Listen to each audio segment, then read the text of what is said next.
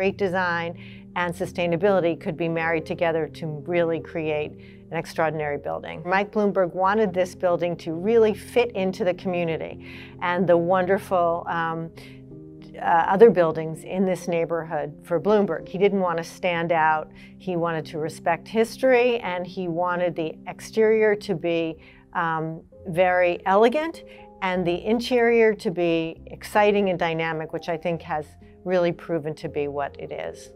I was so lucky to go to the Norman Foster Foundation in Madrid, and it will serve so many young architects, city planners, um, those people who are interested in design. It really is an inspiration for, for so many generations to come.